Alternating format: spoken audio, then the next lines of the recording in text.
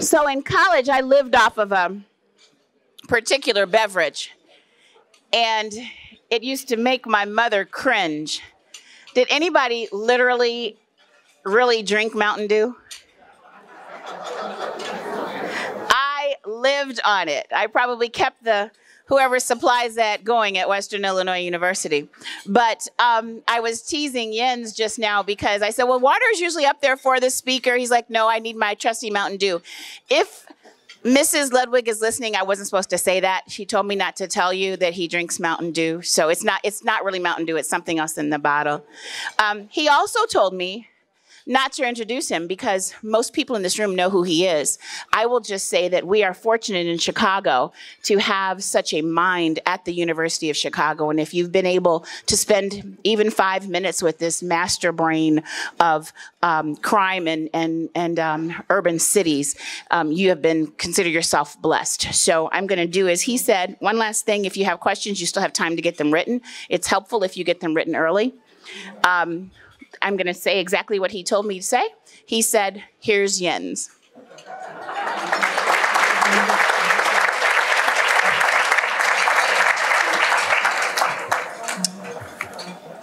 Thanks so very much for the fancy introduction. Uh, thank you everybody for coming. It's um, it's really uh, it's a great honor to have so many people here. It's such a great crowd. It looks like a Iowa caucus meeting, except except that we actually have some vague idea of how many people are here. oh, is it is it too soon? is this is this thing working? So uh, I'm here to talk about crime and poverty in uh, in Chicago, and by way of backdrop, I want to just start off building on. If you turned on the, the television last night you would have seen a bunch of talk about how everything in the United States, how things in the United States right now are going so well. And there are some ways in which that's absolutely true. So this is a graph that shows you the stock, the S&P stock market index going back to the 1920s. And you can see that the stock index has basically tripled since the Great Recession in 2008-ish. And you can see that the stock market is now at an all-time high, an all-time high. You can see how much higher it is than it's ever been in the history of the country. And so by some measures, things are indeed going quite well. But I think you don't really have to look very far or dig too deep to realize that we have a lot of problems in this country as well. And so here's a few different ways to sort of see some of the challenges that we're wrestling with. So this is a graph that shows the poverty rate in the United States going back to the early 1960s. And, you know, if you remember in the 1960s, Lyndon Johnson in 1964 declared war on poverty. And if you just looked at what happened in the 60s, you would have thought that there was a lot of room for hope for the United States and lots of long-term sustained progress. You can see at the start of the 1960s, the poverty rate was something like, is that like 22%? And then you know, by the end of the 60s, it was down to something like 12%. It felt like this was a problem that was really within the grasp of the United States to solve. And unfortunately, when you look at the 40 some odd years since then, you can see that we've made basically no long term progress in reducing income poverty in the United States the way we usually measure this. You can see it goes up or down a little bit year to year, but really no long-term progress. And by some other measures, we've done worse than just treading water. We've actually had a lot of backsliding. So one of the types of economic indicators that for inequality that economists like to look at is something called um, social mobility index, which is defined as the fraction of kids who wind up earning more than their parents. And so I want to show you a picture of what's that's uh, been looking like in the United States going back, uh, say, 80 years. You can see that it has been declining dramatically. The fraction of kids who wind up doing economically better than their parents has been declining dramatically. So uh, you can see when I had my first kid in 1940, they had a 90% chance well, I wasn't sure if it would be too early in the day for, uh, for a math joke, so I, I appreciate the laughter. Um, you can see in 1940, 90% of kids wound up doing better than their parents academically. And for recent birth cohorts, it's down to something like 50%. And just on a personal note, you know, I'm, uh, I was born in Germany. I'm an immigrant myself. My parents are high school dropouts. I'm one of the, you know, 50-ish percent of recent birth cohorts who's wound up feeling very lucky to do much, much better than my own uh, parents. And so it's particularly striking and disheartening to me to see how less common and how much more difficult that's become in the United States.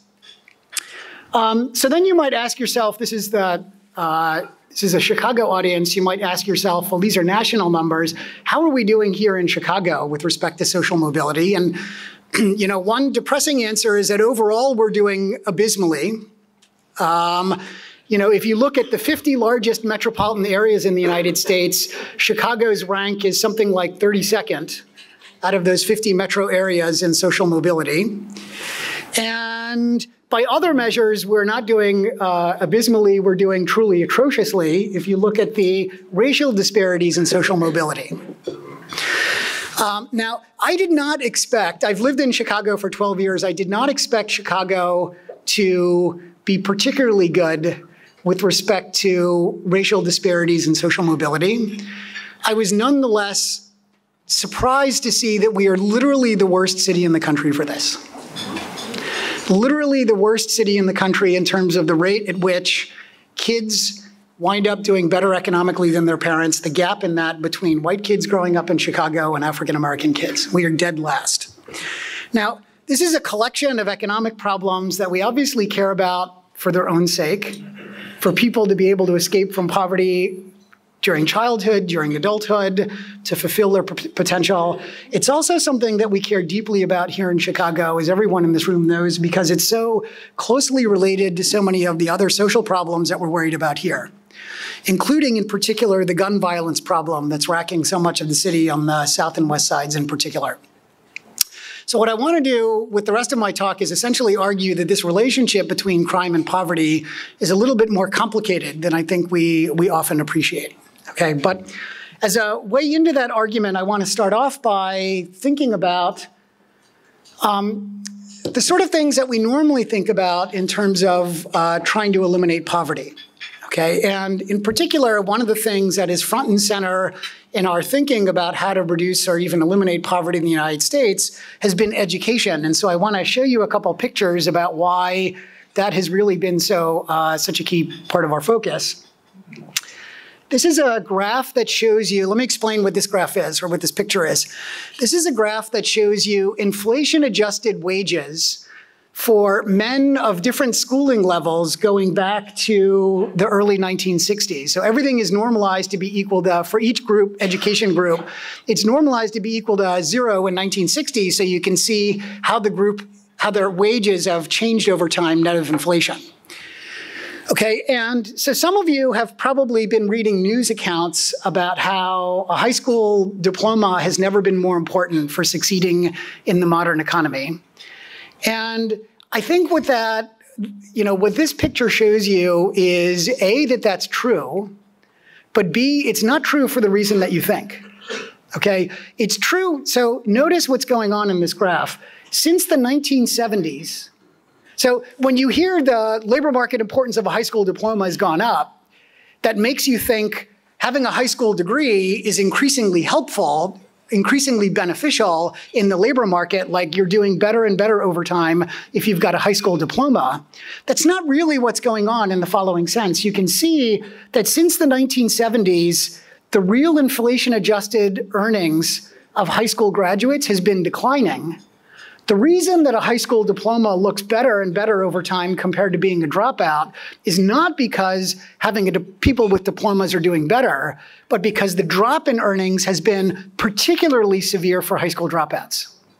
And for those of you who know anything about the deindustrialization of Chicago or any American city, you're going to look at this graph and you're not going to be surprised at the downward trend in the earnings lines for both of these groups, right? The other thing that has been happening in the labor market over the last 50 or 60 years is the huge absolute increase in inflation adjusted earnings for people with some schooling besides high school, beyond high school. You can see that the earnings gap between people who have some college, a four year college degree, even a graduate school degree, and a high school graduate, much, much less a dropout, has completely exploded over time compared to the early 1960s. Okay, so what this means is, what this means is that, you know, when historically in the United States, when we were thinking about how to reduce poverty through education, we often set the goalpost as a high school diploma, right? And I think what these data are telling us is that in the economy of 2020, a high school diploma is no longer a sufficient goalpost. We really need to be setting our sights higher if we're going to try and help kids growing up today avoid poverty during adulthood. So then you can ask yourself how Chicago has been doing on that front. And, you know, there's the good news is that the high school diploma, uh, the high school graduation rate in the Chicago public school system has increased substantially over time, as you can see. And if you look at disparities in high school graduation rates between, say, African Americans and whites, you can see we still see disparities, but the good news is that those disparities are generally declining over time. Okay, so that they're trending in the right direction. I think the less good news is when you look at college graduation rates. I think there are two things that are striking about these college graduation rates for black and white men. One is that the rates are so low for both groups. And the other thing that's so striking is the incredible disparity in college graduation rates here. Right?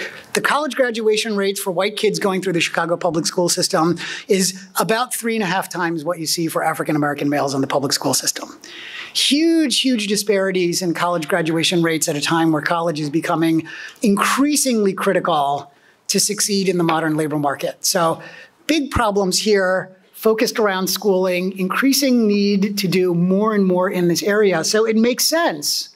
It makes sense that when the city of Chicago or any city around the country is stepping back and thinking, what should we be doing to address poverty in our city? It makes sense that there's so much appropriate attention on human capital strategies related to getting kids through high school, getting them into college, supporting them to persist and complete college, like all of that makes a huge amount of sense.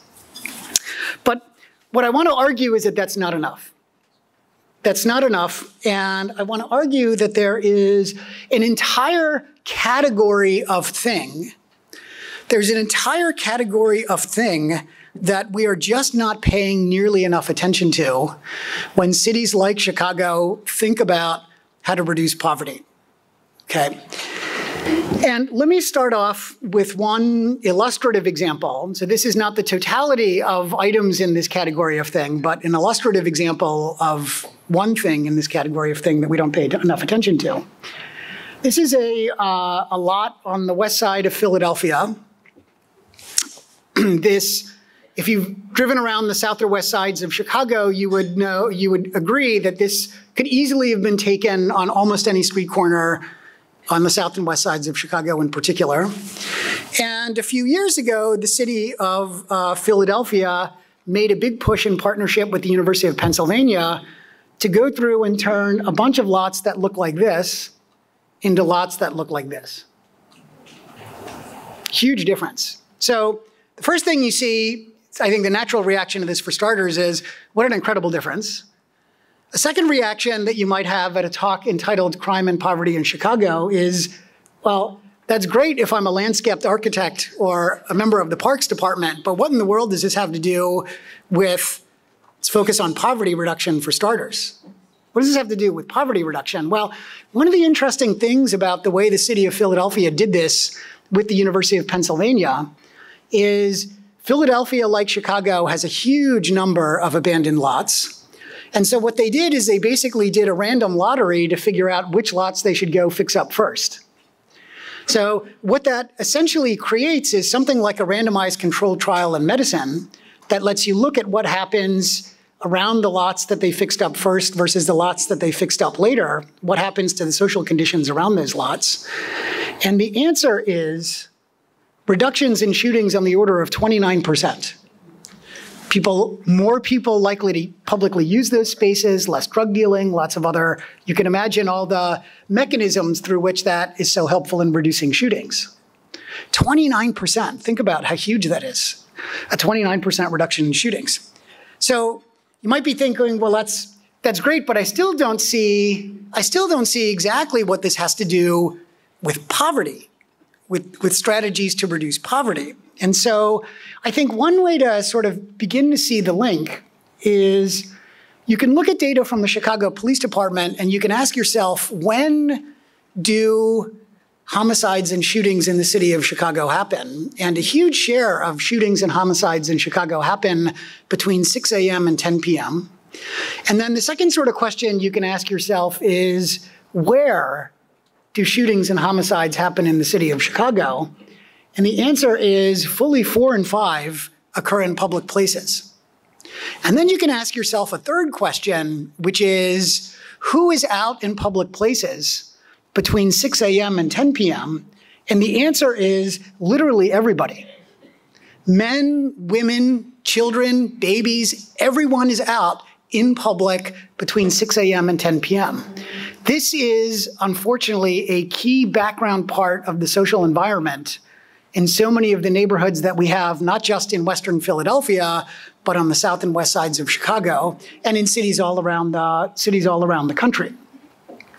Now, um, you don't need a professor from the University of Chicago to tell you that it is extremely harmful for people to live and grow up in neighborhoods exposed to community violence like this. I think what the research does tell us that is more surprising is the magnitude of this impact. So if you look at the if you look at the data um, on this, uh, Princeton professor Pat Sharkey did a study using Chicago data to ask what happens to people when they're exposed to violence in their community. And what he finds is that if you live within 2,500 feet when you, uh, if you live within 2,500 feet of a homicide, there's a 43% increase in mental health problems. So, because I, like everyone here, has no understanding at all of the English measurement system, we have no idea how big 2,500 feet is. I thought that's 10 yards, 15 yards, what the hell's 2,500 feet? So, you know, if what this means is that a homicide literally not next door has a big impact on you. That's one thing. But I searched the internets and learned that 2,500 feet is a half a mile. Think about that. Any homicide that happens within fully a half a mile of where you are has a huge increase in your risk of mental health problems. And then you can ask yourself, well, you know, imagine that I'm living in a community like Englewood, what is the likelihood that I would have a homicide in any given year occur within a half a mile of me? Look at the homicide map for Englewood. Most of the people in Englewood are going to be living in homes that are within a half a mile of a homicide in a given year. A half a mile is a huge distance, right? So here's the point that I want to make uh, with this. So you know, you probably walked into this room at least implicitly appreciating the idea that exposure to community violence is a contributing factor to mental health disparities between advantaged and disadvantaged neighborhoods. And I think what the, the data that we're starting to see in public health tells us is that this is not one risk factor among a long list of risk factors. Community violence is one of the most important drivers of huge disparities in mental health outcomes between economically disadvantaged areas and affluent areas in the city of Chicago. This is a huge problem. So now we can start to turn to more things that are even more directly related. So that itself, you can start to see the poverty tie, right? Imagine that you're living in a neighborhood, you're trying to search for a job or keep, keep a job, and you have a 43% elevated risk of a mental health problem, that already is not going to be helpful in any way to that goal. Now imagine you're trying to get your kids through school and help them succeed, right, in the spirit of promoting social mobility. Who would imagine who would imagine that a 43% increase in mental health problems could be helpful for children and how they do in school? And uh, Pat Sharkey at Princeton did a different study to document the uh, magnitude of the impact on children's schooling outcomes from exposure to community violence. And you know, one way to think about the magnitude there is suppose that we went into Englewood. Suppose that we went into Englewood and we fixed up every abandoned lot in the neighborhood. We'd see if the results are similar in Englewood as they are in Western Philadelphia, you'd see a 29% reduction in shootings. And for the kids in that year, that first year we do that, what happens to the kids learning? They get an extra half a year of schooling half a year of schooling that year that we do that. So think about what a human capital accelerator that is for kids in these communities if we can address the violence problem in the neighborhood in which they're growing up.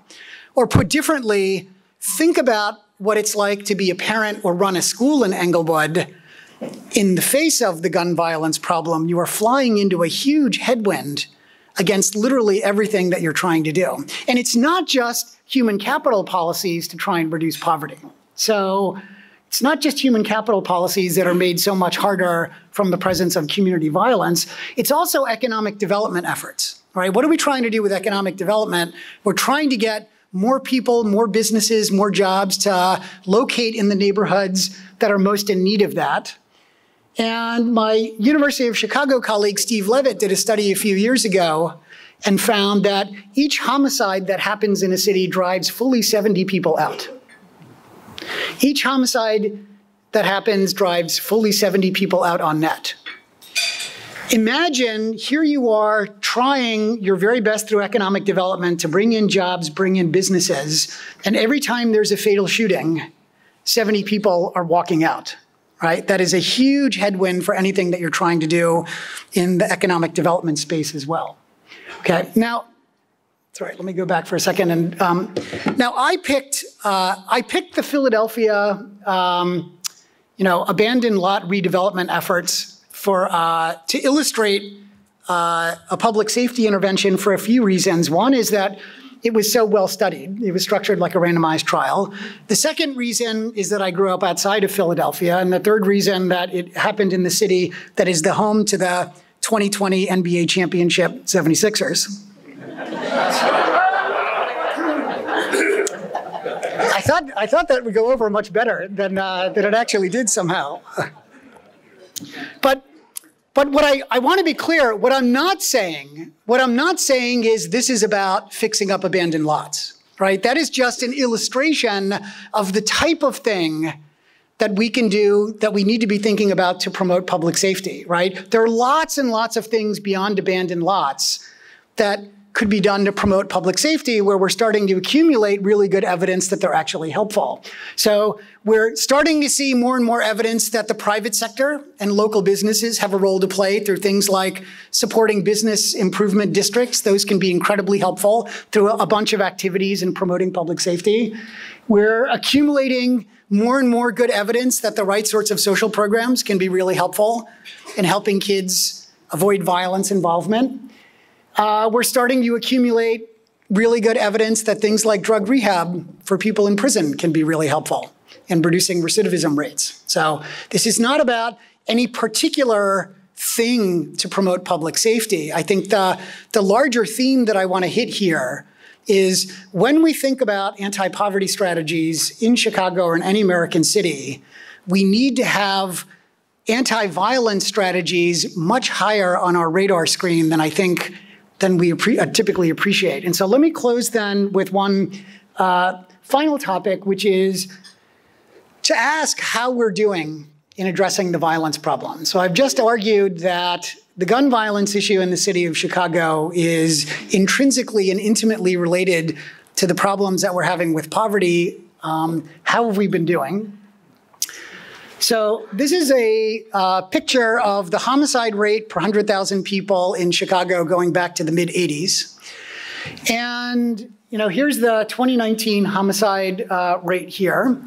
And so you can see that, you know, by some measures, there's some progress, right? So The homicide rate in Chicago today is much lower, or noticeably lower than it was in 2016.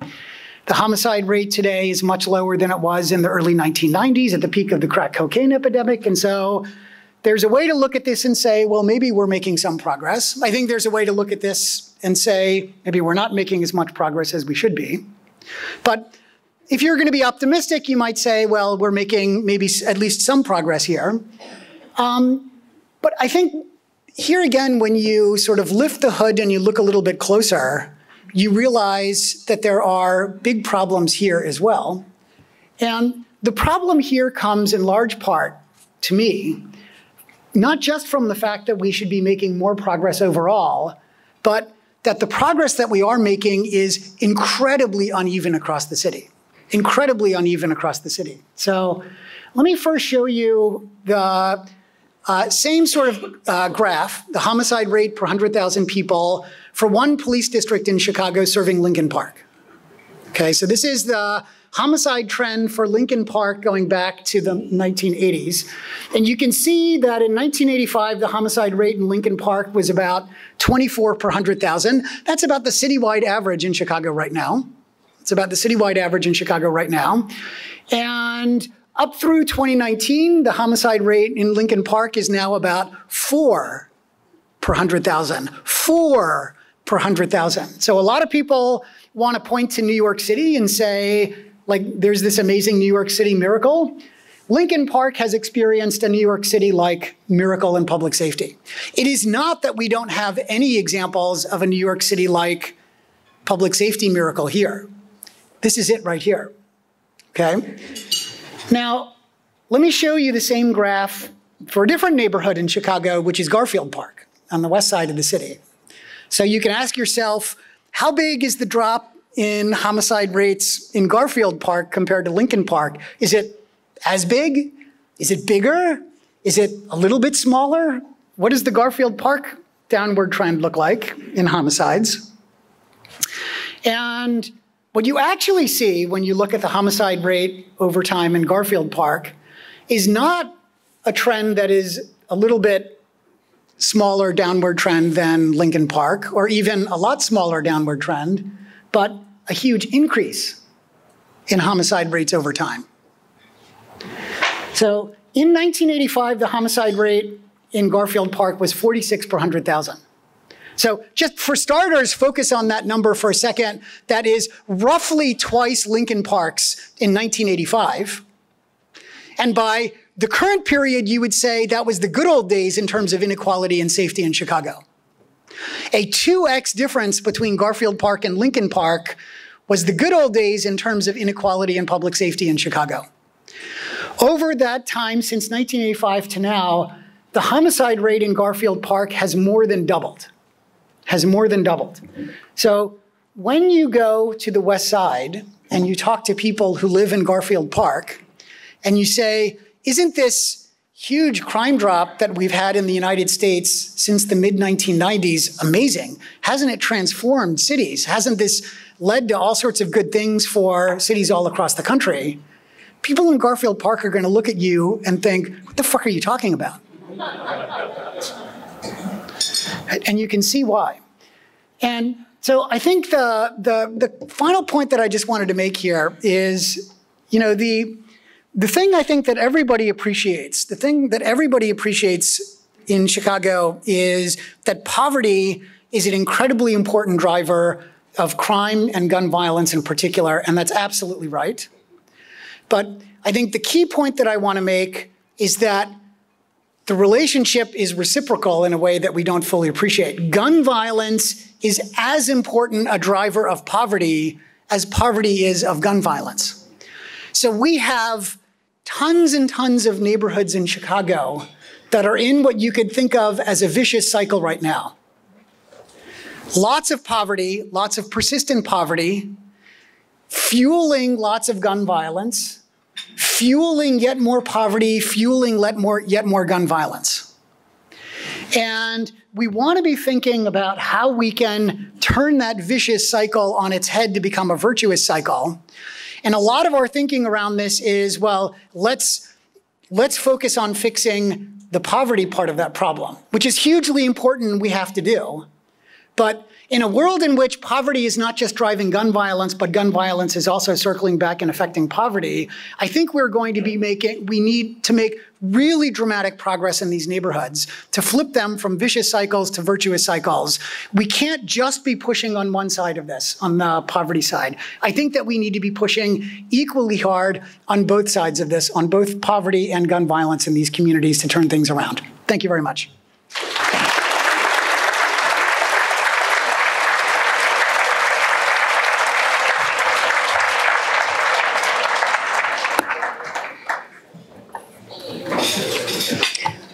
Dwayne, I bet your head is just spinning. Where is he? I know he's in here. I bet your data head is just like going crazy right now, isn't it? So, on that bright note, thank you, Amanda. Um, thank you, Jens, first of all. I'm giving him a minute to. And thank you for not telling my wife I'm drinking Mountain Dew secretly under the. Uh... It's something else. It's not Mountain Dew in there. Um, we do have several questions. Um, thank you all so much for being here because I think this is um, a hugely important topic. And I want to just take a moment just to thank the electeds, um, Alderman and Commissioner. And did somebody say that Kaminari came in? Yep, there he is. Okay. So um, it is so important, not that we just, we um, citizens are here, but also that the electors are here so they can see and hear this stuff.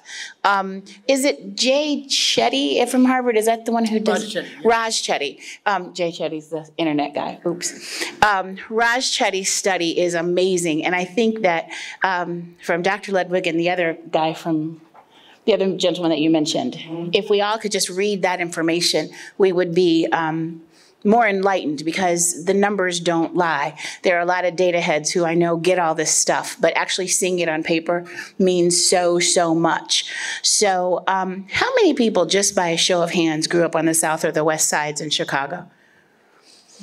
Take a look at that in this room, everyone. One would think that this room doesn't look as diverse as we'd like it to look because I like it to look like Chicago. But that's very telling because all of you all are enterprising and doing very well.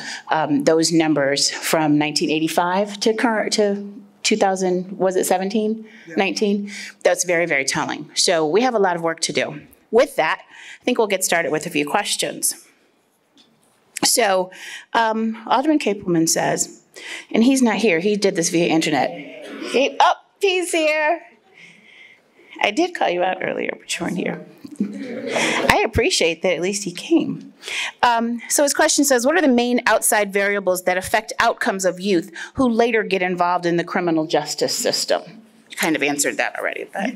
Yeah, I, I think the, uh, the only thing that I would add to that is um, the, you know, one of the most important things that keeps kids, keeps people out of the criminal justice system is uh, education. It's one of the most important protective factors against justice system involvement. And it is the biggest social policy lever by far that we have in the United States, right? So here in Chicago, you look at the budget for the Chicago public school system, it's something like six-ish billion dollars a year. That dwarfs literally everything else that the city is doing to improve social conditions. And you look at the United States as a whole, it's like $600 billion. But the flip side of that is that once people come into contact, especially juveniles come into contact with the criminal justice system, there's really good social science evidence now that shows that if you take a school age kid and you put them in detention, you basically completely screw up their schooling trajectory, greatly increase the chances that they drop out of high school, and greatly increase the chances you, something like uh, quadruple the chances that they wind up incarcerated by age 25. So figuring out ways of helping juveniles when they come into contact with the justice system, like keeping the public safe, safe while simultaneously not taking young people and completely diverting the trajectory of their lives seems like a super top priority for us to figure out as a city. I very rarely do this, but they gave me the mic today. Um, Nancy Nasser from Ancona, where are you? So I, I just read your question, I think. Um, it's more of a comment, right? a bit of a question. So I don't normally ask people to speak from the, from, but I'm going to ask you to speak to it because um, one, Ancona is a great school, but the other is that I want to make sure that we get this right. So could you just say loudly exactly what you're saying here? Sure. So I, um, for many years, taught in very marginalized communities uh, here in Chicago. Okay. excuse me. And you showed a graph of Lincoln Park and the decrease in crime in Lincoln Park, which is significant. And then you show us a graph of uh, Garfield Park, uh, where crime has increased. And my question is, one of the big challenges in Chicago is that people have been displaced, and one of the communities where many, many people were displaced was Lincoln Park. And many of those families were black families who were then moved to the west, to the very southwest side of Chicago, where then you see this spike in displacement of I understand it is one of the huge contributors to uh, violence. Um, and so I just wanted to know, I agree with so much of what you said, but that to me really, really stood out because those were many of my students who then were relocated to communities that they were not a part of. Yeah, there's there's all sorts of um, there's all sorts of very important displacement dynamics kind of in the background to these uh, to these slides that I didn't have time to get into. Here's a here's a different sort of displacement dynamic or displacement challenge is when you um, when you you know I mentioned that every homicide that happens in a city, every homicide that happens in a city drives 70 people out, according to the Steve Levitt study. And when you look at the data for Chicago on um, who's leaving the city of Chicago and which neighborhoods in particular are being emptied out by the gun violence problem, it's disproportionately African American communities on the south and west sides. So when you step back and you ask yourself, like, why are there, if you go back to the sort of the abandoned lot intervention that I was talking about from Philadelphia, why are there so many abandoned lots, so many abandoned homes when you drive around Garfield Park or Englewood? And the answer is the gun violence problem itself. And so I think the, like, you're absolutely right to point out, like, there are a bunch of moving parts here that need to be managed, right? If we are successful, or let me say this differently, what you are pointing out is the generic challenge of community development. It's not specific to community development due to improved gun violence. Anything that you do to make a neighborhood more affluent and more desirable for people to move in is going to drive up property prices and is going to create the risk of gentrification. Like that's just something in general that we need to take really, really seriously and worry about so we don't have the exact problem that you're that you're mentioning, which is that the neighborhoods that are improving are the ones that wind up not helping the, the low income people who are living there originally who we want to help. The flip side is if we don't fix the violence problem, we are condemning a bunch of neighborhoods to more and more emptying out and making it more and more difficult for the people who want to try and remain and turn the neighborhood around to do that in the face of the, this headwind of gun violence. Um, there's a question in here, and I can't find it, that he actually talks about with respects to making neighborhoods more desirable. So if I don't get to that question, because we have a lot of them, he talked about it there very briefly. Um, going to work on this name. Zawaha McElrath? Zawaya. Zawaya. That was pretty good, wasn't I? I was close, okay. From Europe, has your office completed any research with respect to workforce development playing um, in curbing violence? This is from, oh, so the person wrote the, wrote the, wrote the question for you. Are you Jack Crow? Oh, okay. So this is actually your question then. So it's Jack's question, not Zwaya's question about workforce development.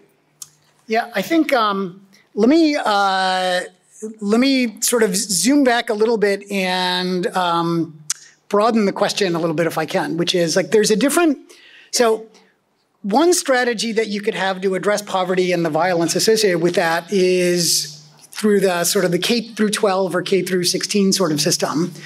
And there's a different strategy, which is to say, you know, we've got a bunch of people who've reached adulthood and now they're trying to navigate the labor market and we could do different things with them. And I think if you view this through the lens of crime and poverty linked together, I think the, the group that we are sort of most focused on usually wanting to help succeed in the labor market is people coming out of correctional facilities. Because we know usually know, the data show us that something like two in three people coming out of prison will wind up going back again within something like three years. And you can see in the data that a lot of that is very, very clearly related to workforce problems, earnings. Now, the, here's the challenge. Here's the challenge is that, you know, when we do, there's been a, a bunch of policy interest in social science studies of what happens when you try and prove the earnings for people when they come out of prison.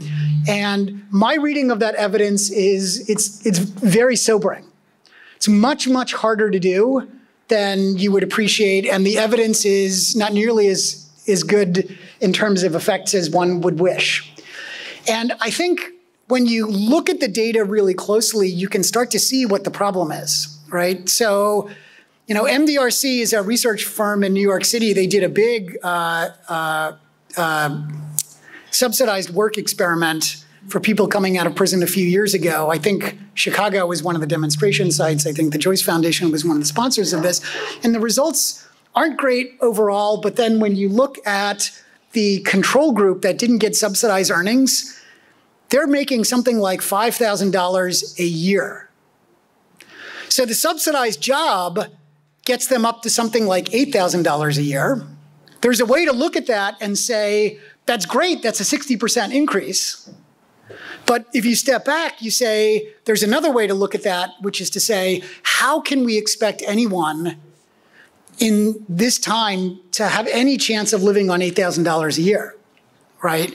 And I think what that highlights is we need to be realistic about the scale of investment that we need to help people succeed in the labor market. And like, I wouldn't take that discouraging evidence as a sign that nothing works or nothing could work, but rather that if you want to have this strategy succeed, we should not be thinking that some $3,000 a year thing is going to solve the problem. It's going to have to be something that's really sufficiently intensive and up to the challenge. So when you ask a University of Chicago professor to briefly answer some questions, that doesn't exactly happen, and I appreciate that. Um, but what happens is you don't get all your questions asked. So, um, Dr. Lynn Hughes, I hear you, and I'm gonna, are you in the room, by the way? Great. Um, I'm gonna figure out how to get this one meshed in with another one. Um, it has to do with people and how we give access to, uh, to our citizens and some other things. Um, oh, I'm trying to like figure out how to best, um, this is the same question from John Petrovsky about how can we get residents and people engaged, but there is one, um, oh, what did I do with it? Sorry, everybody. Here it is. So Ed Bachrach, are you in the room? Great.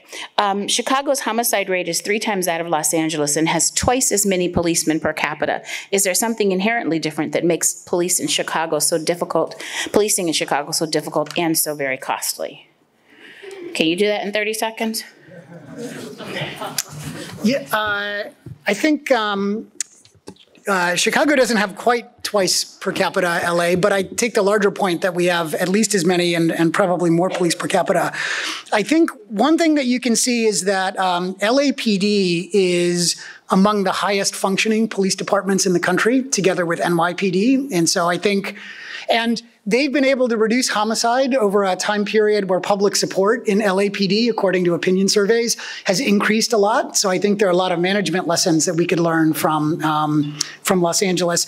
The only other quick thing that I would say is, what is also the case is that when you look at the economically, the most economically disadvantaged neighborhoods in Chicago, there is no neighborhood in Los Angeles today that is anywhere near as economically disadvantaged as our most economically disadvantaged places. And so the types of communities that LAPD is being asked to serve are just qualitatively different from some of the neighborhoods that the Chicago Police Department is, is dealing with here. So the good thing is that because we have so many questions, that means that he has to come back again, right? Um, So there's a question here about how gangs are evolving, and I know that that's an entirely different conversation, and he may have to come and actually talk about that because gangs are not what they used to be. Um, they've evolved into something completely different. So I see that question. Um, Dwayne, uh, that's a whole lot. Where did he go? There's a whole lot going on. I'm going to ask you to talk to Dr. Ludwig about that personally. I really would love to get to all of these questions. Um, but this last one is from Taylor. Is your last name Mac or Mock? Mock, where are you? Hi. Um, so it's an interesting question. In light of these glaring racial social disparities, and assuming that we actually want to solve the problem, why are so many Americans against the reparations of African Americans? I think it's an interesting question. Yeah, it's a um, it, it's a super interesting question, especially for someone who comes from Germany, a country that has its own. I was born in Germany in uh, in the late 1960s, and my parents were born in Germany in the 1930s. And I think it is an interesting compare and contrast in thinking about how Germany has uh, tried to deal with its history and how the United States has tried to deal with um, with its history. And I think it's not hard to imagine. I wouldn't claim by any stretch of the imagination that Germany has done things perfectly or even necessarily super well in any absolute sense.